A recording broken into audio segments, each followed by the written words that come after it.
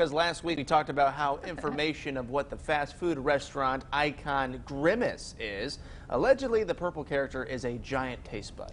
But since then, McDonald's has taken to Twitter and changed their background photo to multiple pictures of Grimace. with a profile that reads, Grimace is a close personal friend of mine. Going on to tweet, it's always what is Grimace and never how is Grimace. It's a great question. But they got rid of Grimace Truly. like in 2003 from my research. So Bring him back. I'm not sure why.